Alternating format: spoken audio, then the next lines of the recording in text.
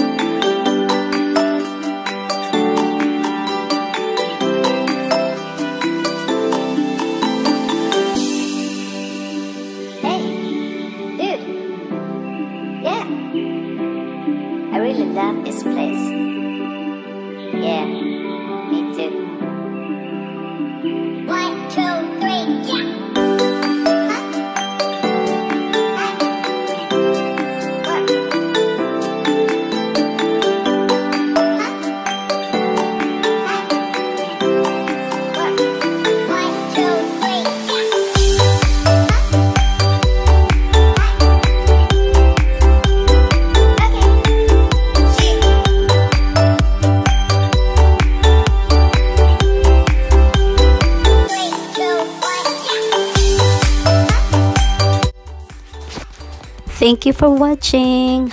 I wish and pray that we will go back to the normal that we can travel meet people give them a hug give them a uh, we can travel we can see the world and we can go back to work and help more people. So i wish you a happy and healthy we need to stay home get checked so that we have the